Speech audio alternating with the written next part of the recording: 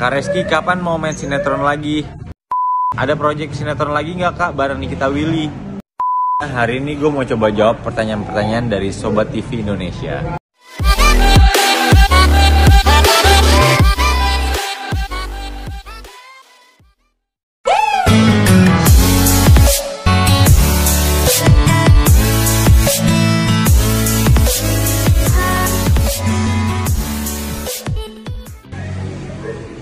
Halo, apa kabar semuanya? Hari ini gue mau coba jawab pertanyaan-pertanyaan dari Sobat TV Indonesia. Ada beberapa pertanyaan yang mau coba gue langsung jawab.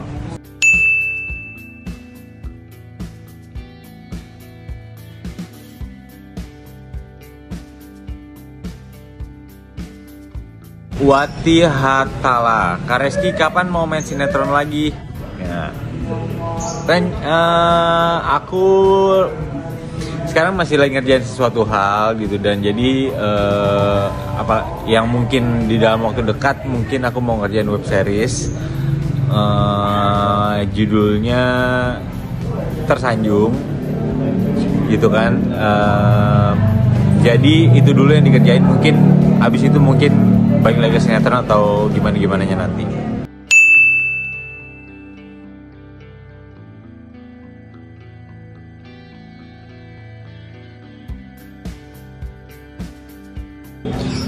Terus ada dari Reina Reyana underscore Ayesa. Ada project sinetron lagi nggak kak bareng Nikita Willy? Belum. Tapi nggak tahu ya nantinya ke depannya gimana. Kita lihat aja nanti. Ditunggu terus ya.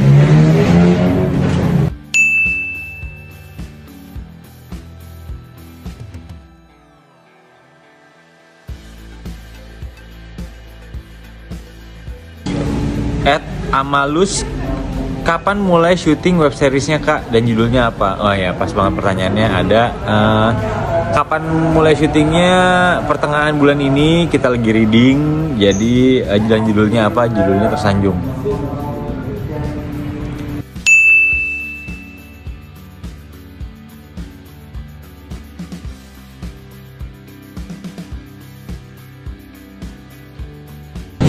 Terus dari semua sinetron mana yang pernah dibintangin sinetron mana yang paling berkesan kak dari Kiki Fauzia? Semuanya berkesan. Yang berkesan paling berkesan uh, semuanya sih.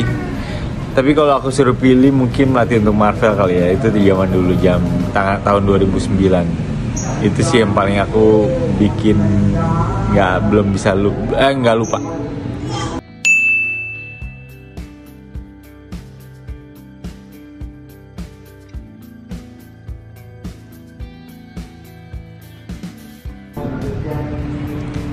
dari Sunyarte T.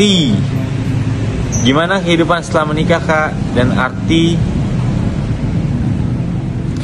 dan arti kak Ciki dan Atar dalam kehidupan kakak aja.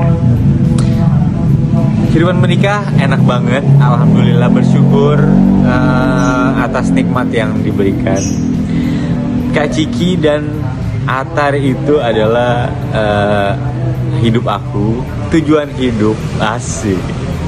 Moga-moga kita selalu bahagia dan uh, selalu diberkahi seperti sekarang dan alhamdulillah terus-terus mengucap syukur sih. Alhamdulillahirobbilalamin.